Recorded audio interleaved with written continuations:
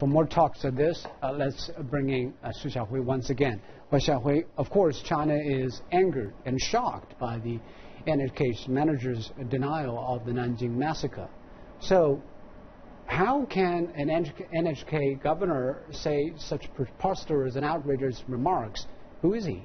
Well, a good question. This reflects a dangerous trend that the Japanese society, the Japanese country, is turning more and more conservative. We, we can understand why he proposed these remarks. The context is that the government, uh, the Prime Minister Shinzo Abe is trying to deny the history and trying to cover the truth of the history. That is why an individual person in Japan tried to make similar remarks, uh, especially on this uh, very important historic event. We all know that Nanjing massacre was a very serious case in mm-hmm. history, and the nature of this event was it was against the it was a crime against the humanity.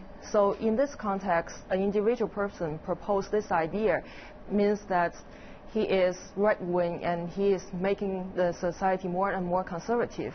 I suppose we need to pay attention to the development trend of Japan, of the society. The government trying to make the society more and more conservative. And in this, uh, in, the country, uh, on the contrary, the right wing forces will push the government to make more uh, mistakes in historic issues. Mm. So it is like a vicious circle. Mm. That is why China uh, criticize these people for their wrong positions and try to make the Japanese government and the individuals to realize what happened in the past and what you should do now to correct the mistake.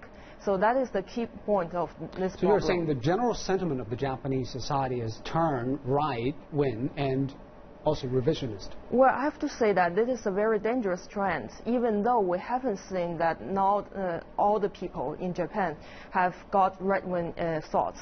But it is a dangerous trend that they will uh, gradually forget the history and try to turn more conservative.